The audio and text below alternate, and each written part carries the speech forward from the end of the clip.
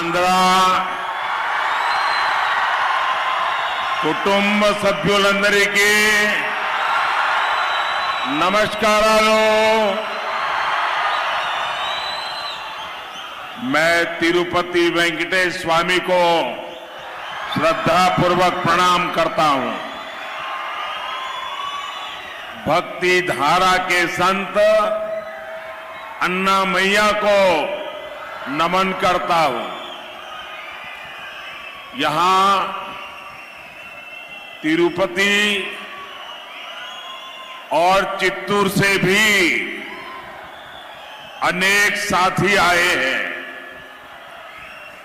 आप सभी का भी अभिनंदन करता हूं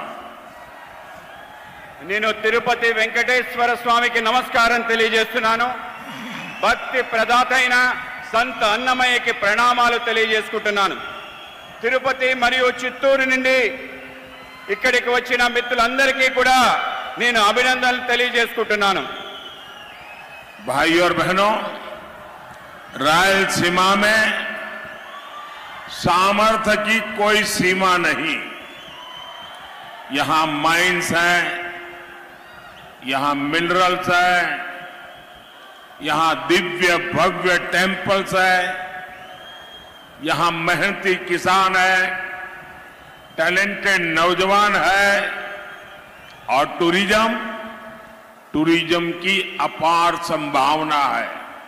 इसलिए आज मोदी आपके पास आशीर्वाद लेने के लिए आया है। मोदी का लक्ष्य है रायलसीमा का डेवलपमेंट। नई ऊंचाई पर पहुंचे मोदी का लक्ष्य है आंध्र प्रदेश का विकास मोदी लक्ष्यम आंध्र प्रदेश विकासम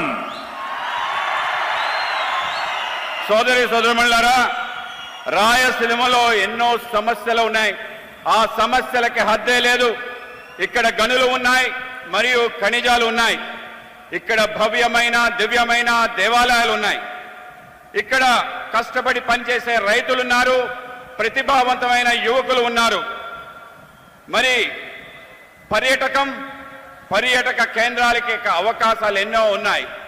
ఈరోజు నేను మీ ముందుకు మీ ఆశీర్వాదం కోసం వచ్చాను. మోడీ లక్ష్యం రాయలసీమని బాగా అభివృద్ధి చేసి కొత్త ఎత్తులకు తీసుకెళ్ళటం మోడీ లక్ష్యం आंध्र प्रदेश अभिवृद्धि। साथियों, आप सभी ने दशकों तक दूसरों पर भरोसा किया है। लेकिन आपको क्या मिला? यहाँ डेवलपमेंट नहीं हुआ। यहाँ सिंचाई की सुविधा नहीं है। यहाँ इंडस्ट्री नहीं है।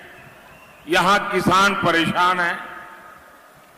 यहां नौजवानों को काम के लिए दूसरे शहरों में जाना पड़ता है आप मुझे बताइए ये हालात बदलने चाहिए या नहीं तो आपको क्या करना पड़ेगा आंध्र प्रदेश में डबल इंजन सरकार ఆంధ్ర ప్రదేశ్ లో కూడా డబల్ ఇంజన్ సర్కార్ రావాలి మిత్రులారా మీరంతా దశాబ్దాలుగా అనేక మందిని విశ్వాసంలో ఉంచారు. రాయలసీమ ఆంధ్రప్రదేశ్కు అనేక మంది ముఖ్యమంత్రులను ఇచ్చింది. ఇచ్చారా లేదా? కానీ మీరు ఏమి పొందారు ఇక్కడ అభివృద్ధి జరగనే లేదు. ఇక్కడ సాగునీటి సంబంధించిన సౌకర్యమే లేదు. ఇక్కడ పరిశ్రమలు లేవు. ఇక్కడ రైతులు ఆందోళనతో ఉన్నారు. ఇక్కడ ఉద్యోగాల కోసం ఇంకొక నగరాలు వలస వెళ్ళాల్సిన పరిస్థితి ఏర్పడింది మీరు నాకు చెప్పండి ఈ పరిస్థితి మార్చాలా వద్దా साथियों आंध्र प्रदेश की जनता ने बड़ी उम्मीदों के साथ वाईएसआर कांग्रेस सरकार बनाई थी लेकिन इन्होंने आपके साथ विश्वासघात किया वाईएसआर कांग्रेस ने यहाँ गरीबों का नहीं, माफिया का विकास किया। वाईएसआर कांग्रेस के मंत्री कैसे यहाँ गुंडागर्दी करते हैं, यहाँ राउडी राज चलाते हैं, वो सबके सामने है।